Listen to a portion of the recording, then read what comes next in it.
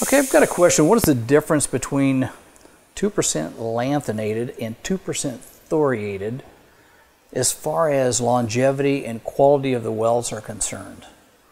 Okay, and that's a great question. Well, first of all, either one of them will do a very good job. Uh, you need to understand that the 2% thoriated has been a very tough tungsten since almost the starting of time. So it's got a great, great history to it. 2% lanthanated has come along and it's a really close second.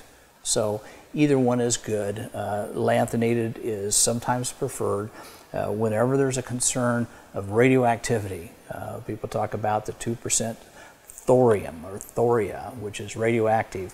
Fact is, it's not radioactive to a level that you can even measure it. So uh, if you're using either or, they're both just fine.